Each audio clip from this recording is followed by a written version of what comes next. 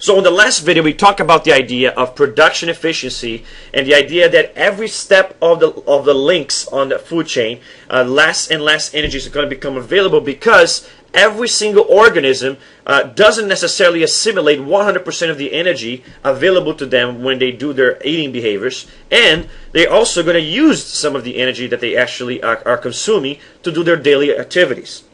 So, for example, the plant doesn't actually absorb 100% of the energy of the sun that hits it. And also, it uses some of the energy to maintain its life. Then, the, the herbivore that eats the plant, likewise, will not necessarily assimilate 100% of the energy. Some of it gets passed and doesn't get digested, it goes out of the feces. And then, the rest of that energy may get assimilated, but a lot of that energy is going to be used up for the animal to do what it needs to do. So, you have this idea of net primary production, which is the amount of energy that the plants produce, but then some of the energy is lost uh, in the process of eating itself, and excretion, defecation, respiration, working, and that means that this net secondary production is going to be less as well. What that means is that every time, every step of the way in the food chain, as you go through the food web, less and less energy is available to higher trophic levels. Uh, so see here in the bottom, you see an example of a pyramid of energy. That the primary production amount, let's say if we have a thousand joules of energy, joules is the unit that you use to measure energy. By the way, notice that originally a million joules of sunlight were actually hitting the plant, but the plant only processed a bit of that and then actually used up the rest. So only 10,000 units of energy were added to, in, in terms of, of net primary productivity. But then, when the next animal ate that, the same thing happens. Some of the energy he uses, some of the energy, it doesn't get assimilated. It, that means that the secondary productivity is only 1,000 joules. By the time you get to the secondary consumer, that original energy that was a million is already down to 100. But the next level is down to 10. And if you have a level after that, it's down to 1. If you, if you have a level after that, it's down to 0.1. On average, each type of the way, each transfer of energy is going to be less and less efficient. And in fact, only between 5 to 25% of the energy is transferred. And on average, it's 10% is the magic number. 10% of the energy on average passes from each trophic level to the next. That's what you see on the top left on that pyramid of energy there. The rest of the energy is used up for, for the work, give up on as heat, or even never assimilated by the animal as it is doing the eating behavior. That has consequences on the ecosystem. If you have less energy available in each step of the way, that means that less mass can be supported on each step of the way as well.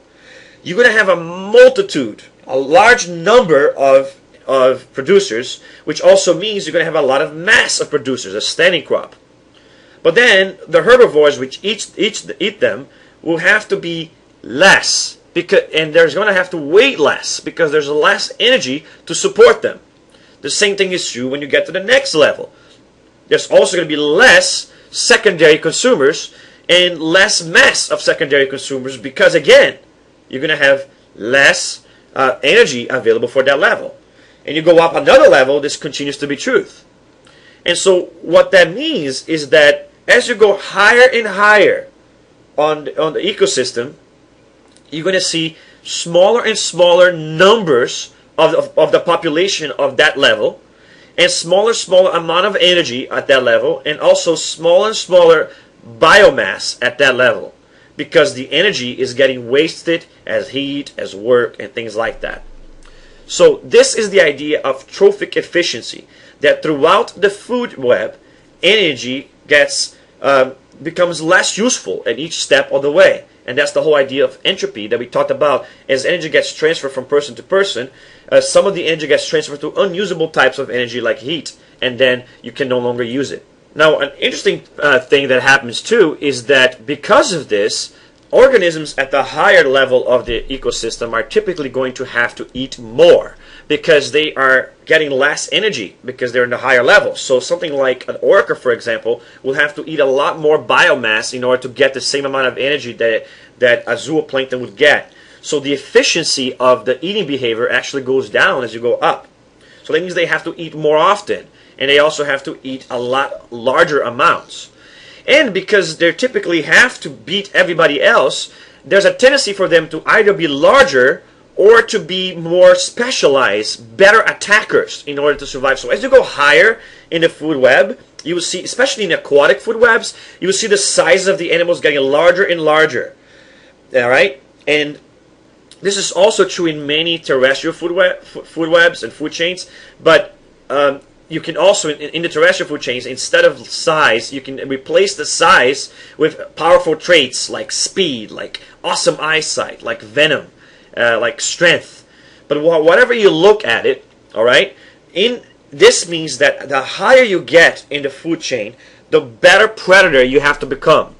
In the water, that means size because size is everything. Although the speed is also a factor, they, they tend to be faster and faster as they, as they, as they are going higher. But what matters here is something else too. These specialized traits, size, poison, speed, they take a lot of energy to maintain, especially the whole size thing. Which means that if you're going to have these huge, ginormous predators at the level of the food web that has the less amount of energy, what does that mean? It means that you're going to have very few of those top predators because you already have less energy available up there. You already have less numbers and less biomass available up there. Now, if this biomass and energy has to be concentrated in these huge organisms, or these very highly specialized organisms, that means that there are going to be very few of them. And that's why there's so few lions compared to the number of gazelles, compared to the, the, the number of grass. Alright, so it's yet another reason why the numbers get smaller and smaller as you go up in the food web.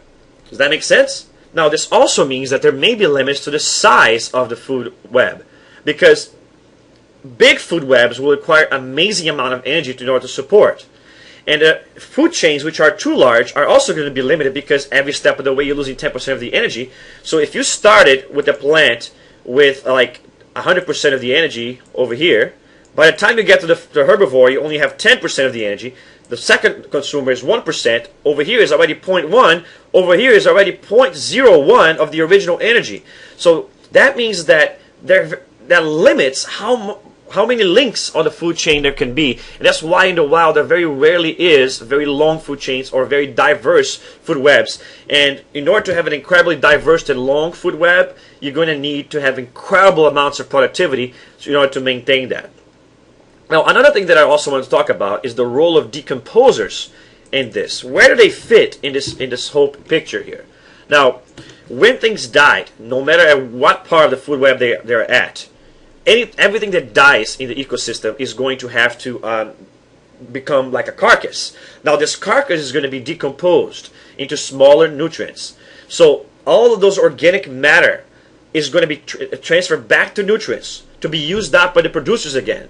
So in an ecosystem, notice what's happening to the matter, all right?